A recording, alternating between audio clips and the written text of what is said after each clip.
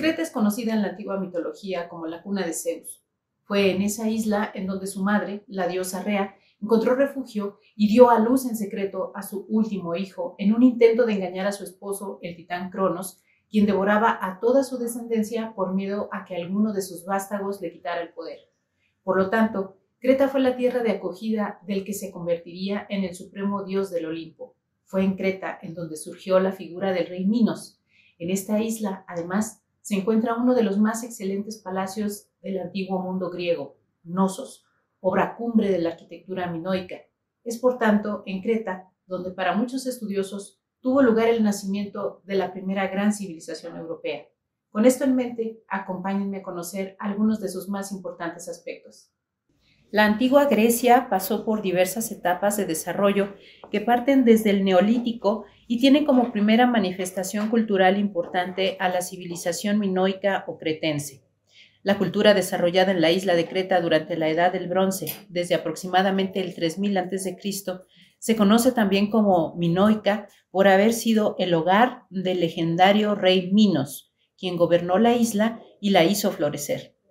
Minos es un personaje entre el mito y la realidad. Haya sido él o un conjunto de gobernantes, lo cierto es que Creta llegó a tener una poderosa escuadra naval que dominó el Egeo y las islas Cícladas. Alrededor de la figura del rey Minos se tejieron varias historias que son el fundamento ideológico, no solo de Grecia, sino de la Europa misma. Mitos como el del Minotauro, un monstruo encerrado en un laberinto que fue asesinado finalmente por Teseo con la ayuda de la joven Ariadna, así como la historia de Dédalo e Ícaro con sus alas de cera, han llegado hasta nosotros, gente del siglo XXI, con sus enseñanzas e imaginario. Los primeros habitantes conocidos de la isla de Creta, incluso reconocidos por los griegos como sus ancestros, son los pelasgos, procedentes del Asia Menor, que poblaron la isla de Creta alrededor del 3000 a.C. y poco a poco desarrollaron una temprana pero sofisticada manifestación civilizatoria que conocemos como la cultura cretense, que sumó influencias egipcias y de Asia Menor. Los cretenses trabajaron los metales, particularmente el bronce. Eran navegantes y su ciudad más importante fue Cnosos, donde se ubica el conocido palacio mítico del laberinto. Se calcula que hacia el 1700 a.C., esta primera civilización cretense sufrió un desastre, probablemente debido a una invasión o a un terremoto provocado por la gran explosión del volcán de la cercana isla de Tera, acabando con su prosperidad. Con respecto a su sistema de creencias, los cretenses desarrollaron un complejo culto religioso centrado en un ritual de tauromaquia, en cuya ceremonia los sacerdotes hacían una especie de toreo en donde tenían que tomar al toro por los cuernos y saltar sobre él haciendo una voltereta. También se ha identificado a una deidad femenina que se muestra en figurillas donde aparece con el pecho desnudo y falda larga, sujetando unas serpientes con sus manos, como la que se puede apreciar en el Museo Arqueológico de Heraclión. Incluso la palabra laberinto parece estar relacionada con este culto, ya que se trata de una helenización del vocablo cretense de origen probablemente lidio, labris, el hacha de doble filo, símbolo también de los dos cuernos del toro. El laberinto, por tanto, se refería antiguamente a un recinto sagrado. Los minoicos, que representaron la primera gran etapa de esplendor de la antigua Grecia, llegaron a su final en torno al 1100 a.C. debido a la invasión violenta de los dorios, según lo afirman autores clásicos como Heródoto o Tucídides.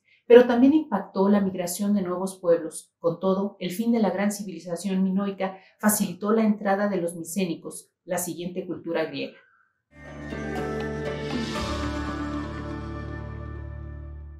A mediados del siglo XIX, para historiadores y arqueólogos, los orígenes de la antigua Grecia estaban envueltos en la oscuridad o, en todo caso, en el mito. Por entonces, la historia de Grecia solía empezar con la primera Olimpiada en el 776 a.C. y lo ocurrido antes no era del todo claro para los historiadores. Todo cambió gracias a un alemán, Heinrich Schliemann, que en 1870 anunció que había descubierto las ruinas de Troya, demostrando que sí existieron las grandes ciudades de los poemas épicos. Poco después, el mismo Schliemann excavó Micenas y Tirinto, dos de las ciudades griegas de las que procedían los guerreros homéricos. Estos hallazgos tuvieron un gran impacto en las futuras investigaciones, entre esas la del británico Arthur Evans. Para ese entonces, principios del siglo XX, la isla de Creta era un foco de atención para los arqueólogos. Desde hacía décadas iban tras las huellas del legendario rey Minos, relacionado con numerosas leyendas, entre ellas la del Minotauro. Evans estaba entonces interesado en los orígenes de la escritura griega. Con esta motivación llegó a Creta en marzo de 1894 y enseguida se dirigió al yacimiento de Knossos. Pero el gobierno otomano, al que pertenecía Creta, ponía impedimentos. Obligaba a los arqueólogos a comprar las tierras que querían excavar, cosa que, por ejemplo, había rechazado Schliemann. En los años siguientes, Evans hizo varios viajes a Creta hasta que en 1899 creó el Fondo para la Exploración de Creta y compró los terrenos de Knossos. El 23 de marzo de 1900 comenzó la excavación. En pocos días afloró una gran construcción. Se trataba de un intrincado espacio de unas dos hectáreas de extensión, con unas mil salas comunicadas entre sí. De inmediato, Evans relacionó los hallazgos con el célebre rey Minos. La estructura tenía que ser el laberinto del Minotauro, pensó. Cuando en una de las estancias apareció un gran asiento de yeso empotrado en la pared, pensó que se hallaba en la sala del trono e identificó otra estancia cercana como sala de la reina. A sus ojos, Gnosos fue un lujoso palacio.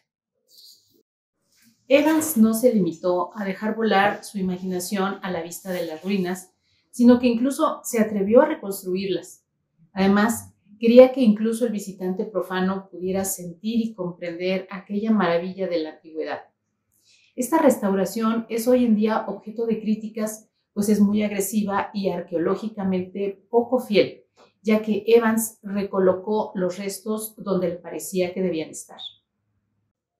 El entusiasmo de Evans aumentó cuando entre las ruinas del antiguo palacio aparecieron restos de pinturas murales. El arqueólogo decidió también restaurar los frescos, lo que para él significaba completarlos a partir de los fragmentos rescatados. Encargó esta tarea a dos artistas suizos, padre e hijo, ambos llamados Émile Guillerón, aunque se basaron en evidencias arqueológicas y en su experiencia previa en Micenas, el trabajo de los Guileón resultó muy controvertido. Recordemos que Evans había acudido a Creta con el propósito de resolver el enigma de su escritura y las excavaciones en Nosos le habían proporcionado multitud de tablillas de barro con inscripciones en la antigua escritura minoica, hasta entonces desconocida y todavía sin descifrar.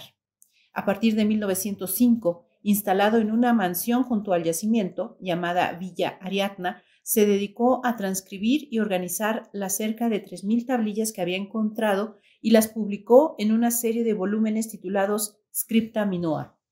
Evans nunca logró descifrar el contenido de las tablillas, aunque concluyó que se distinguían dos tipos de escritura que correspondían a inventarios.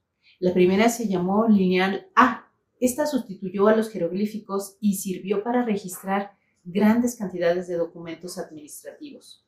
Las piezas están hechas en arcilla sin coser y su mayor yacimiento se encuentra en Agia Triada, mientras que la segunda, el lineal B, es el sistema de escritura correspondiente a la última fase histórica de la civilización minoica. Según Evans, es probable que esta escritura pasara de Creta a la Grecia, puesto que también se ha localizado en Micenas. Visto esto, entendemos el por qué el nombre de Arthur Evans quedará asociado para siempre con uno de los mayores descubrimientos de la arqueología, el de la más antigua civilización del Egeo, llamada Minoica en honor del mítico rey Minos. Los trabajos de Evans se recopilaron en la monumental obra El Palacio de Minos. En ella, Evans demostró que antes del poderío micénico había existido una civilización propiamente cretense que creó las leyendas que siglos después nutrieron el imaginario mítico de los griegos.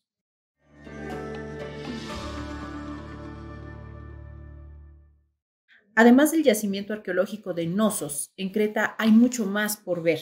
Por ejemplo, una parada indiscutible es Heraclión, capital de la isla. Es la región más dinámica de Creta, hogar de casi la mitad de la población de la isla y de su enclave turístico más valorado. Recomendamos visitar el Museo Arqueológico, con una gran colección que abarca 5.000 años de historia, desde el Neolítico hasta la época romana, incluida una colección de cerámicas, joyas y sarcófagos minoicos, además de los famosos frescos de los yacimientos de Nosos, Tilisos, Amnisos y Agia Triada. Recorriendo Heraclión, se van a encontrar con una fuerte influencia veneciana. Resulta que Creta fue, durante muchos años, parte del Imperio Bizantino, pero con la Cuarta Cruzada en 1204, la potencia marítima de Venecia recibió Creta como parte de su pago por abastecer a la flota de los cruzados. De allí que gran parte de la arquitectura monumental de Heraclión data de esa época veneciana que duró desde el siglo XIII hasta el siglo XVII. Entre todas, destaca la fortaleza de Cules, que rodea el puerto de la ciudad. Se puede distinguir en buen estado siete muros y el león alado de San Marcos, típico escudo veneciano. Dentro de la fortaleza hay un museo que se centra en los hitos de la historia de la ciudad y muestra ánforas antiguas, cañones venecianos y otros hallazgos recuperados de naufragios alrededor de la isla. Cerca de Heraclión encontramos varios yacimientos arqueológicos minoicos, como Faistos, que fue la segunda ciudad-palacio más importante después de Nosos. Tiene un impresionante emplazamiento con vistas panorámicas de la llanura de Misara y el monte Siloritis. Se construyó hacia 1700 a.C.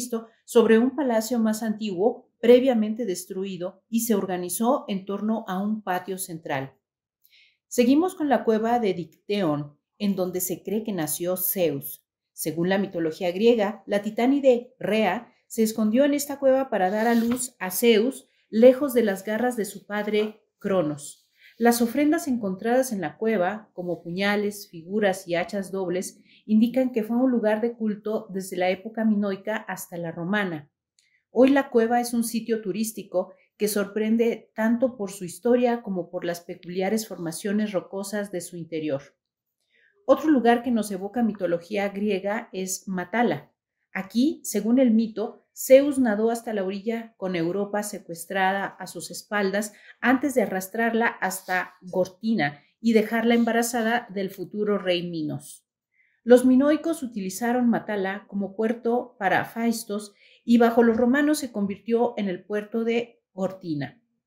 Además, los romanos utilizaron las cuevas naturales como tumbas. Hoy Matala es un encantador pueblo costero en el entorno de una bahía en forma de media luna flanqueada por promontorios. Seguimos con Rétino, salpicada de lugares históricos y maravillas naturales. Aquí vamos a ver de todo, desde tumbas micénicas, monasterios ortodoxos, fortalezas, hasta mercados artesanales.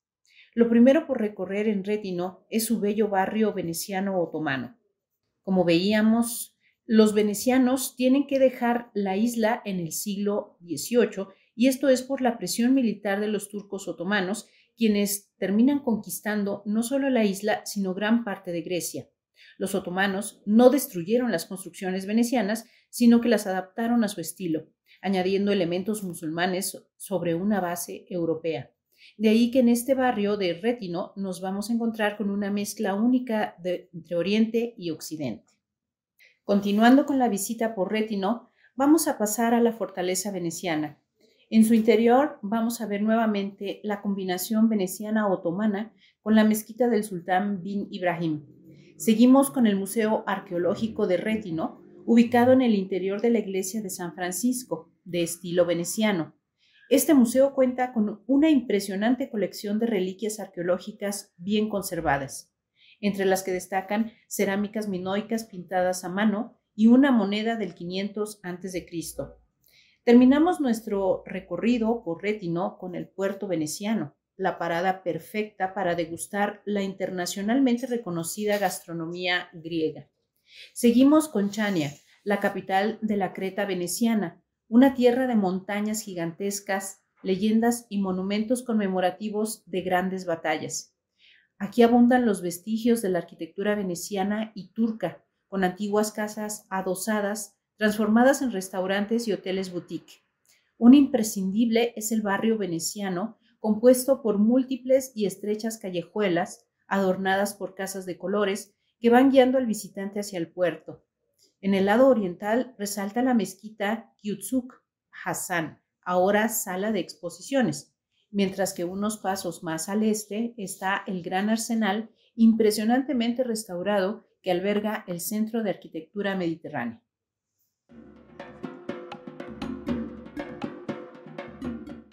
Grecia es un destino imprescindible para un viajero cultural, una de la primera civilización europea, de la democracia y la filosofía.